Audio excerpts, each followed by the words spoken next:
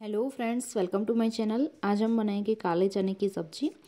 तो उसके लिए जो भी इंग्रेडिएंट्स चाहिए, वो मैं शेयर कर रही हूँ। यहाँ पे सूखी लाल मिर्च ली है, तेजपत्ता लिया है, गरम मसाला आधा चम्मच लिया है, चुटकी भर मैंने आमचूर पाउडर लिया है, एक चम्मच नमक, आधा चम्मच हल्दी पाउडर, एक चम्मच रेड चिली पाउडर और आधा चम्मच जितना हमने धनिया पाउडर लिया है।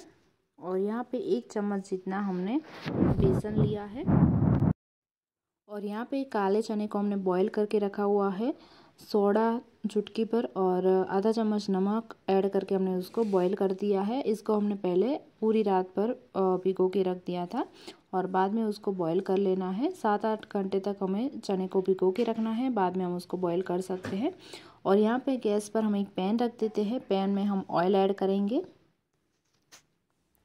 फ्रेंड्स, ये जो चना है, बिल्कुल जैसे मैरिज में जहाँ पे हम खाते हैं, बिल्कुल वैसा ही बनता है। तो हमने यहाँ पे दो चम्मच जितना ऑयल ऐड कर दिया है। ऑयल को हम थोड़ा सा हीट होने देंगे। तो यहाँ पे आप देख सकते हो ऑयल हमारा हीट हो चुका है। तो हम थोड़ी सी इसमें राई ऐड करेंगे। राई यहाँ पे ऑप्शनल है। कई लोग इसमें नहीं ऐड करते हैं। अगर आप नहीं ऐड करते हो तो उसे स्कीप कर सकते हो। राई को हमें क्रैकल होने देना है। क्रैकल होने के बाद हम थोड़ी सी हींग ऐड करेंगे। चुटकी पर हींग ऐड करनी है। तो यहाँ पे आप देख सकते हो कि राई क्रैकल हो चुकी है तो यहाँ पे मैंने हींग ऐड कर दी है। और अभी हम तेजपत्ता और जो रेड चिली थी सूखी, वो हम ऐड कर देंगे। दोनों को मैंने कट करके ऐसे ऐड कर दिया है। और हल्का सा स्टर करके जो हमने बेसन लिया था एक चम्मच, वो बेसन ऐड कर देंगे और उसको स्टर करते जाएँगे। गैस फ्लेम हमें यहाँ पे स्लो रखनी है ताकि जो बेसन है वो जल ना जाए। तो इसी प्रकार से कंटिन्यू स्टर करते रहना है। जब तक ये बेसन है गोल्डन ब्राउन कलर का हो जाता है, तभी तक हम इसको स्टर करेंगे। इसका कच्चापन अच्छी तरह से मीट जाना चाहिए। और फ्रेंड्स कई लोग जो बेसन है, उसको पानी में उसमें पानी ऐड करके उसका गोल रेडी कर देते हैं। लेकिन आप यदि ये ट्रिक यूज़ करोगे तो जो चने हैं, बहुत ही टेस्टी बनते हैं। बिल्कुल जैसे हम मैरिज वगैरह में खाते हैं, वैसे ही बनते हैं। तो आप देख सकते हो, इसका कलर धीरे धीरे से चेंज होने लगा है। ये गोल्डन ब्राउन कलर इसका आने लगा है।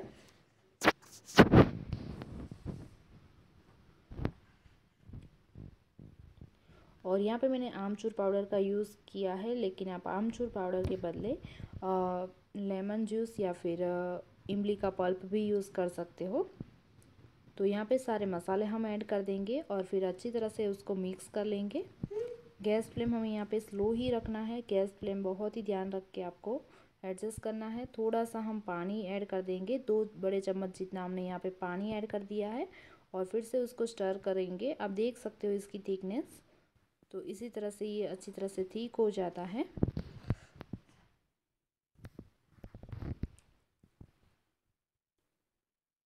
फिर से हम थोड़ा सा पानी ऐड करेंगे और अच्छी तरह से मिक्स करेंगे।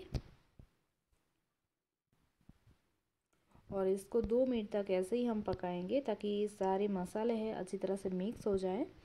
और यहाँ पे मैंने एक चम्मच जितनी चीनी ऐड कर दी है, चीनी अच्छे से बैलेंस करती है सारे मसालों को।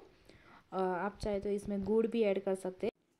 कई लोग इसमें गुड़ ऐड करते हैं तो आप चाहे तो गुड़ भी ऐड कर सकते हो। तो फ्रेंड्स, आप देख सकते हो, मसाले सारे अच्छी तरह से मिक्स हो चुके हैं। और यहाँ पे सारे मसाले आप अपने टेस्ट के अकॉर्डिंग कम ज़्यादा ऐड कर सकते हो।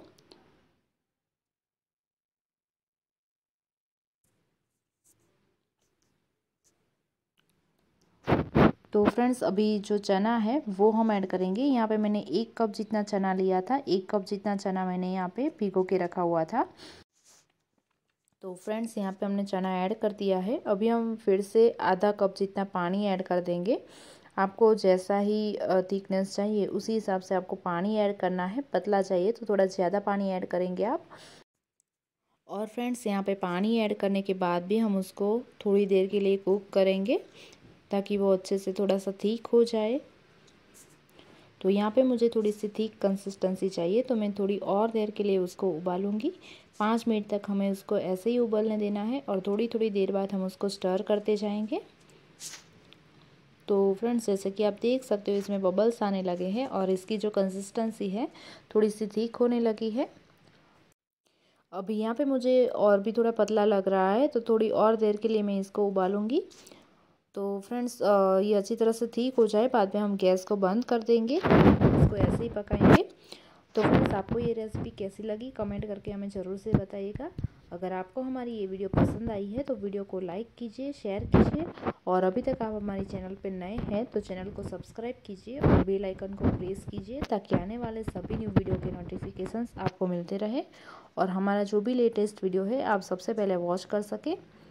तो यहाँ पे आप देख सकते हो, अभी भी ये थोड़ा पतला है तो और देर के लिए मैं इसको पका रही हूँ।